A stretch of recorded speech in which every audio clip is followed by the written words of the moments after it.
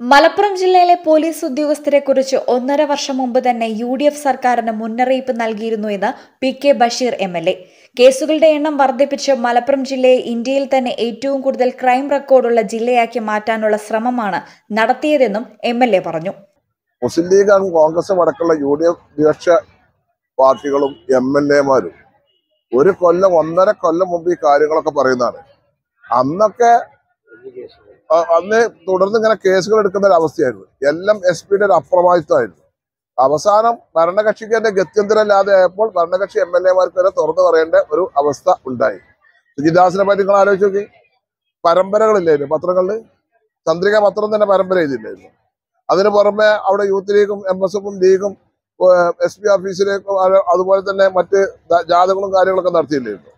അവിടെ ഏതൊരു ഏഹ്, ഇന്ത്യയിലെ ഏറ്റവും വലിയ ക്രൈം റെക്കോർഡുള്ള ഒരു ജില്ലയാക്കി മാറ്റാനുള്ള ഒരു ഗൂഢ ശ്രമത്തിന്റെ ഭാഗമായിട്ടാണ് ജില്ലയിൽ വന്ന കഴിഞ്ഞ പോലീസ് എസ് പിയും ഇപ്പോഴത്തെ പോലീസ് സൂപ്രണ്ടും ഒക്കെ പിന്നെ ഡ്രൈവ് എന്ന് പറഞ്ഞുകൊണ്ട് കേസുകളുടെ എണ്ണം കൂട്ടുന്ന ഒരു പ്രവണതയിലേക്ക് പോയത്. അത് എല്ലാവരും ശക്തമായി പ്രതികരിച്ചാണ് A D G P Ajith കുമാറുമായി ബന്ധപ്പെട്ട വിഷയങ്ങളിൽ മുഖ്യമന്ത്രി മൗനം അവസാനിപ്പിക്കണമെന്നും എ ആവശ്യപ്പെട്ടു. മലപ്പുറം ജില്ലയെ ഇന്ത്യയിൽ ഏറ്റവും കൂടുതൽ ക്രൈം റെക്കോർഡുള്ള ജില്ലയാക്കി മാറ്റാനുള്ള ശ്രമമാണ് ഉന്നത ഉദ്യോഗസ്ഥർ നടത്തിയത്. മുൻ എസ് പി സുജിത് ദാസും ഇപ്പോഴത്തെ എസ് പി പി ശശിധരനും ശ്രമിച്ചത് അതിനുവേണ്ടിയാണ് എന്നും P K Basheer M L A കൂട്ടിച്ചേർത്തു. ഈ വിഷയങ്ങൾ യു ഡി എഫ് നേരത്തെ ഉന്നയിച്ചതാണ്. എന്നാൽ അവസാനം ഭരണകക്ഷി എം എൽ എക്ക് വരെ എല്ലാം തുറന്നു പറയേണ്ട അവസ്ഥയാണ് വന്നത്. ഇപ്പോൾ കൂടുതൽ ആരോപണങ്ങൾ പുറത്തു വരികയാണ്. ഇതിനു മുന്നിൽ പിടിച്ചു നിൽക്കാനാവാതെ വന്നതോടെ സർക്കാർ ഉദ്യോഗസ്ഥരുടെ സ്ഥലം മാറ്റത്തിലൂടെ സർക്കാർ സ്വയം മുഖം രക്ഷിക്കുകയാണ് നടത്തിയതെന്നും എം എൽ എ പറഞ്ഞു. A D G P Ajith കുമാറുമായി ബന്ധപ്പെട്ട വിഷയങ്ങളിൽ മുഖ്യമന്ത്രി മൗനം അവസാനിപ്പിക്കണമെന്നും P K Basheer M L A ഇടവെണ്ണയിൽ വ്യക്തമാക്കി. News bureau Edavanna.